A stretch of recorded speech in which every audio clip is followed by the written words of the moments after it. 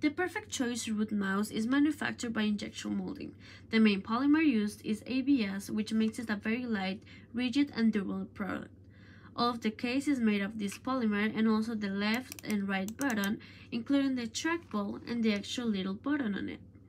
Also, the cover for the batteries and the USB connection are made of this polymer. He, it has a very ergonomic and sleek appeal with asymmetrical design, which the brand is characterized by, and it was also one of the aspects that made me buy it in the first place.